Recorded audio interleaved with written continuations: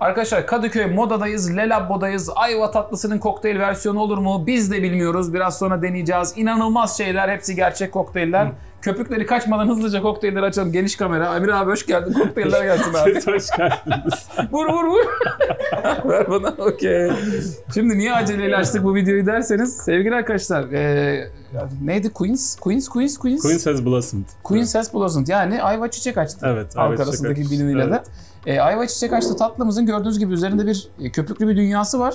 Onu tuttuğun zaman o böyle geviriyor. Bizde burada kameralar, ışık falan var. Çok bekletmeyelim. Hızlı hızlı açalım dedik.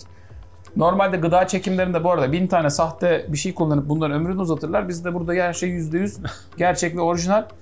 Sevgili abim sen anlat hadi ben o zaman bunun köpüğü iyice cıvışımadan ne oluyor buralarda? Tabii bu bu yine aslında böyle hani bir şeyden esinlenilmiş, bir tatlıdan esinlenilmiş bir kokteyl.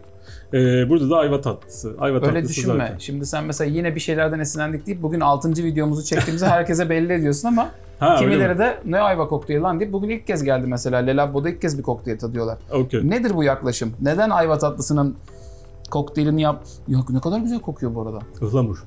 Çok iyi ya. Hı.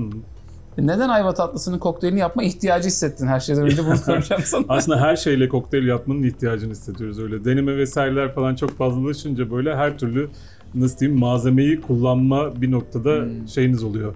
Ee, ayva da aslında kokteyllerde bence güzel bir bileşen. Ayva tatlısını çok sever miyim derseniz o kadar da sevdiğim bir tatlı değil derim. Lafını bölüyorum. Ayva tatlısı... Ha, pardon. Ayva kokteyllerde iyi bir birleşen derken çok da popüler bir bileşen değil. Değil, değil. Evet. Yani Ama sen- ya- yine doğru formda kullanıldığı zaman aslında Hiç gördün mü yani ayvalı kokteyl tarifi? Ayvalı ben kokteyl bunu biliyorum. gördüm, gördüm. Okey. Gördüm. Ee, işte şey de yine malzemenin aslında hani en doğru şekilde nasıl kullanılabileceğini düşündüğünüz zaman e, es- gittiğiniz nokta bir yandan da. Hani hem bir taraftan esinlenme hem de ayvanın en güzel formu nedir diye baktığınızda da hani ayva tatlısı ce- cevaplardan biri olarak karşımıza çıkıyor. Yani bu da nasıl? Ayva aslında kısık ateşte uzun uzun uzun süre pişiriliyor baharatlarla vesaire. Aslında biz de bu kokteylde aynı tekniği uyguluyoruz. Yani buradaki teknik de aslında slow cooking yani yavaş pişirme yöntemi. Ee, bu ayva tatlısı yapar gibi ayva Tandır gibi pişiriliyor. bir şey bir nevi. Bir, bir nevi Okey. diyebiliriz. Okey. Sonrasında işte bunu baharat zaten ayva yani ayva tatlısında zaten o şeyini veren, e, özelliğini veren şeylerden birisi de kullanılan baharatlar. Hı hı. E, bu yine ayvalı ve baharatlı. Bunun içinde yaptığımız, kendi yaptığımız bir baharat likörümüz var. E, baharat tarafını aslında hani hem pişirirken biraz veriyoruz ama ayva tatlısı kadar değil, biraz daha da şey tarafından e, likör tarafıyla destekliyoruz. E, genelde tatlılardan esinlenilmiş kokteyllerde, e, formlarda yani tatlı halde en iyi olan formlar genelde limonu kaldırmıyor bu arada. Hı hı. Hani asit bileşen olarak limon çok iyi bir bileşen olarak girmiyor. Mesela bir ara yaptığım bir şey vardı. Antalya'nın yine e, tahin soslu kabak tatlısı vardır. Bilir misin Can? Yok abi. Bilmiyor musun?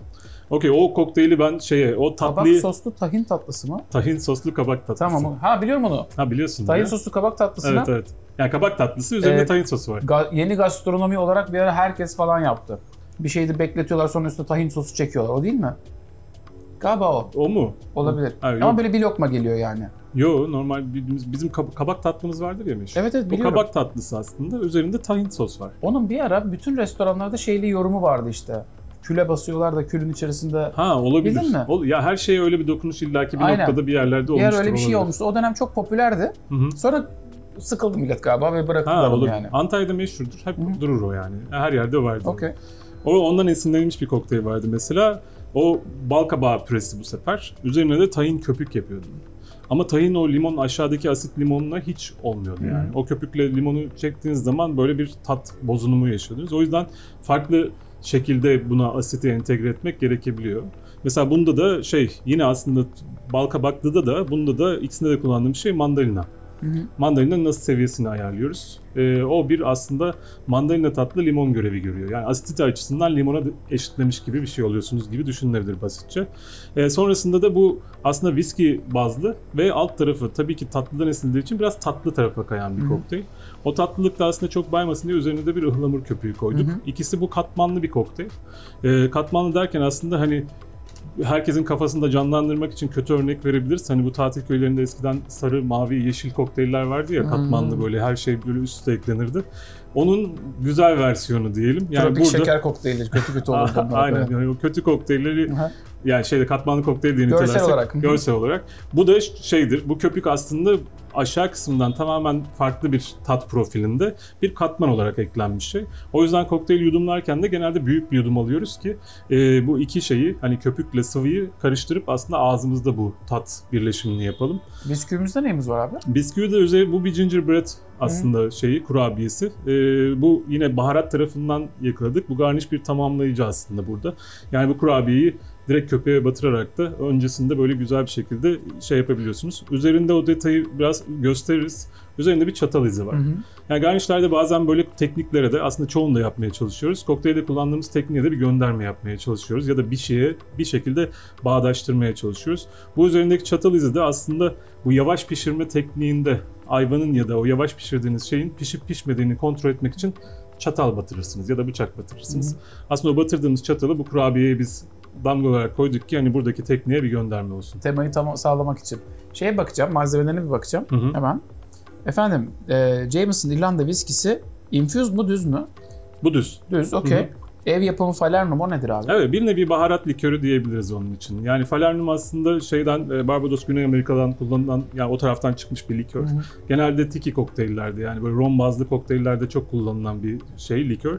Biz bunu aslında burada kendimize evrilttik gibi bir şey. Biz ayvanın o baharat gereksinimini o likörle karşılıyoruz bu kokteylde. Yavaş pişirmiş ayva zaten anlattın. Hı hı. Asiditesi dengelenmiş mandalina suyunu zaten anlattın. Evet. Limon buraya yakışmıyor dedin. ıhlamur köpüğünü de anlattın. Bir de şunu soracağım. Kokteyllerde, surumlarda genelde böyle çok homojen olmayan görüntü pek tercih edilmez. Hı hı. Ee, ya da şeffaflaştırılır ya da biraz daha böyle daha homojen hale getirilene kadar karıştırılır falan. Onu burada özellikle yapmamışsın. Biraz tabiri caizse dağınık gözüken bir kokteyl bu. Hı hı. Ama yakışıyor kokteyle. O özellikle bir tercih miydi yani? Yani aslında evet bu kıvamlı bir kokteyl. Hı hı. Ee, o yüzden hani kıvamlı olarak bunu sunmaya çalışıyoruz. Hı hı. Yani püre vesaire yaptığımız pürede baharatlarıyla birlikte vesaire böyle bir kıvam içeriyor. Genelde bu kıvamı verdiğiniz zaman da eğer ekstra bir bağlayıcı kullanmıyorsanız bu olabiliyor.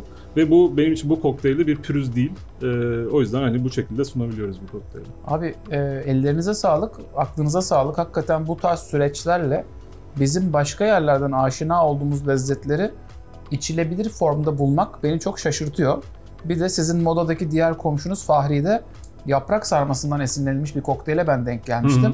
Hani şeye çok şaşırıyorsun sevgili arkadaşlarım size de anlatayım. Yani gerçekten kokteyl işinde artık bu farklı bir şey yani bir farklı bir yaklaşım, farklı bir nokta yani. Senin normal mutfağından, evinden farklı bir yerden aşina olduğun bir lezzeti içilebilir bir halde eline alıp da içebiliyor olmak müthiş bir başarı. Abi o yüzden tekrar ellerinize sağlık diyoruz. Sevgili dostlar sizleri de Kadıköy Moda Lelabbo'ya davet ediyorum. Kendinize iyi baktınız. Görüşmek üzere. Abone olun, like basın. 7 video çektik. ilk kez aklıma geldi bugün. Böyle YouTuber'lık olmaz olsun. Kendinize iyi baktınız. Görüşmek üzere. Hoşçakalın. Hoşçakalın.